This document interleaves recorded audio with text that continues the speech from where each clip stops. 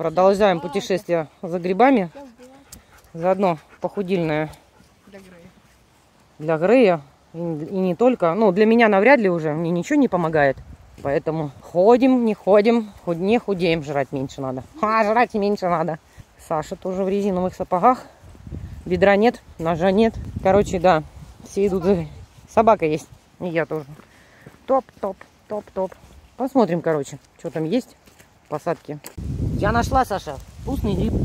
Да, самое смешное, Саша обратно без сапог идет, вместе с грибочками. Туда нашла в сапогах, обратим внимание. Сейчас она в лесу прям переобулась.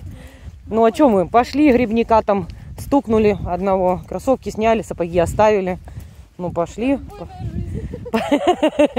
Пособирали грибочки, а ну стой. Покажу я тут вечно. Хрен догонишь, я уже запыхалась. Она хватает ведро и, и тулит в сторону дома. Просто, Саша, подожди, я уже похудела на 5 килограмм. Пошли, все, медленно. Я же просила, сбавим темп. Идем медленнее. Ведерочка плавно качается. Ну это уже ведерочка, понимаешь? Ведерочка. В этом году это вообще много. Сейчас мы сделаем жульен. Ага, Юле нельзя кушать. И сожрут все Саша с Сергеем. Нет, я нарушу свою клятву. Не есть после шести.